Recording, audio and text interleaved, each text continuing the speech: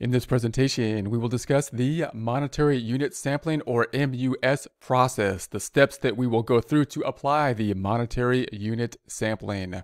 We're going to have the planning part, we're going to have the performance and the evaluation. This is where we're going to break the steps up into into these chunks, into these categories, the planning, performance, and evaluation. The planning is going to have two components to it because we're going to have a long description of what is in the planning. So there's the planning part one.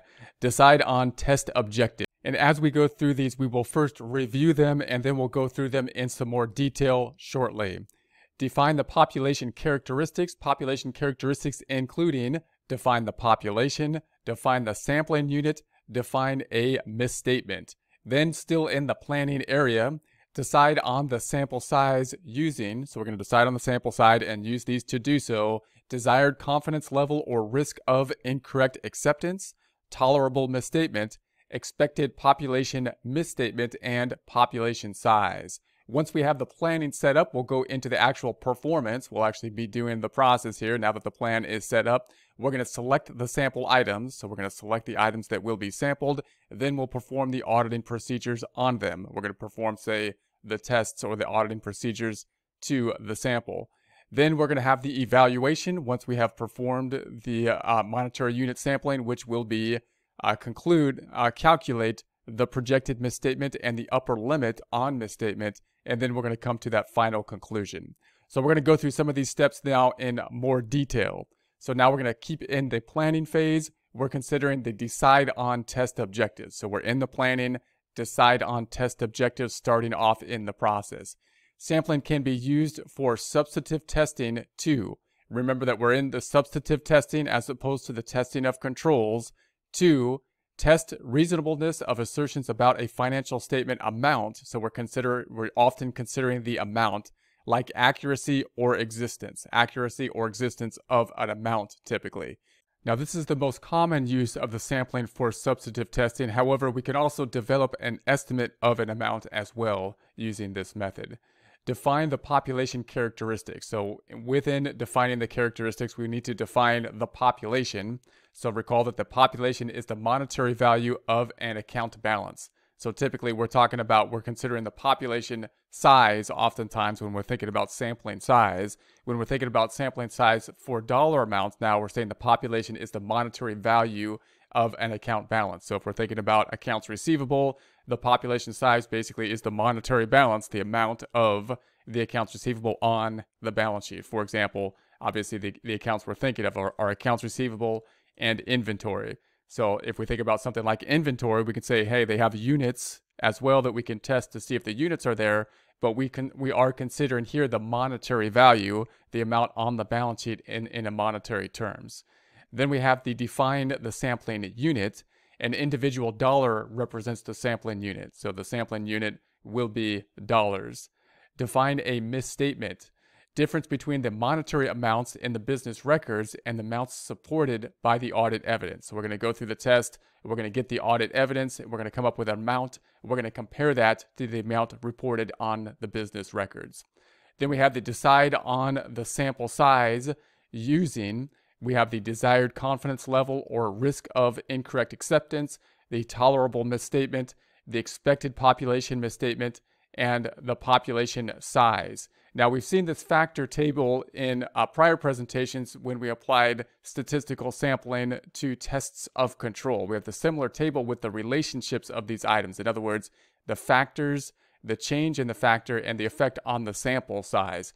The difference in this table is going to be the item in red. Note down here that we are considering the sample size uh, as a relation to the population. So population size does have a more of a, an effect on the uh, sample, what's going to happen with the sample, as opposed to the control testing. So keep that in mind. The rest are going to be uh, the same here. We have the expected population deviation rate, change in the factor if we lower it.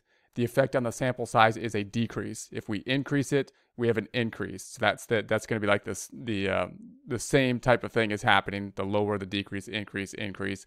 Then we have the tolerable deviation rate. This is inverse relationship. If the uh, change in the factor is lower, we have an effect on the sample size increase. If it's higher, effect on the sample size decrease.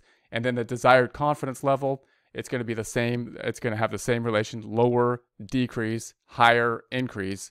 And then the population, if we want the change in the factor goes lower, then again, we have the same. It would be decrease, higher would be an increase. Next, we're going to go to the performance. We have the select sample items and perform the auditing procedures. We're concentrating here on the select sample items. The auditor will select and uh, a sample by using a systematic selection approach called probability proportional to size selection. So we're going to use probability proportional to size selection.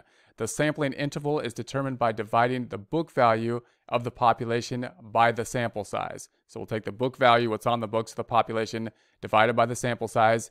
Each individual dollar in the population has an equal chance of being selected, and the items or logical units larger than the interval will always be selected. So the units larger than a specific interval. After we have the selected sample items, we will of course perform the auditing procedures.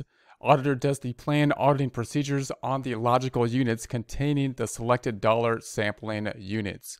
Next, we have the evaluation. So once we've gone through the performance, we have the evaluation. Calculate the projected misstatement and the upper limit on misstatement. The misstatements detected in the sample need to be projected to the population. So we're going to project what, what happened in the sample, of course, to the population in total. Then we're going to come to conclusion. So we're going to make a conclusion based on this process. Often the decision is whether the balance is materially misstated or not. So remember, we're typically considering something like the balance in accounts receivable or the balance in something like inventory on a dollar basis. And the question is, is it materially misstated or not? So that's going to be, in essence, typically our conclusion that we're getting to. Tolerable misstatement is compared to the upper misstatement limit. So we're going to say, what's the tolerable misstatement? What's the upper misstatement limit? If the upper misstatement limit is less than or equal to the tolerable misstatement, we decide that the balance is not materially misstatement, misstated. And that's, of course, the conclusion we're hoping for. However, what if we have a case where that's not the case and we say that it is materially misstated given our sample? In a situation where the misstatement where, where the misstatement limit is greater than the tolerable misstatement limit, the auditor will conclude that the balance is materially misstated. That's a problem. It's materially misstated. What do we do from that point forward? well, we can increase the sample size. And doing that, we would basically be thinking, well, maybe it's not materially misstated. Maybe our sample is misrepresenting. Possibly we can increase the sample size and do more testing and see if indeed it is uh, materially misstated or if there's something wrong given the sample population that we have. We can perform other substantive procedures.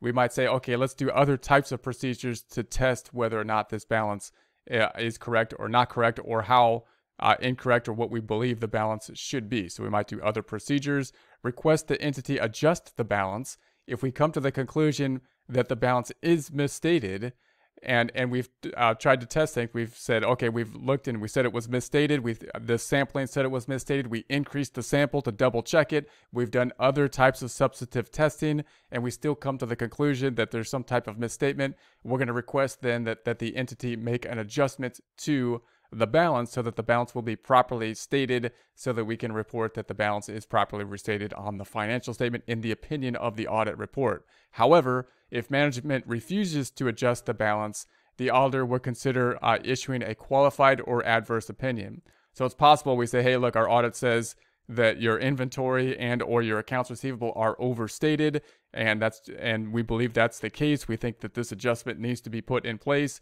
It's possible that the management then says well i don't believe that or i'm not going to do that for whatever reason. If that's the case then we, we would have to issue a, possibly a qualified opinion basically saying well the, the financial statements look correct uh, except for this one deviation or an adverse opinion if it was severe enough for us to think that the financial statements were not materially stated correctly, then an adverse opinion.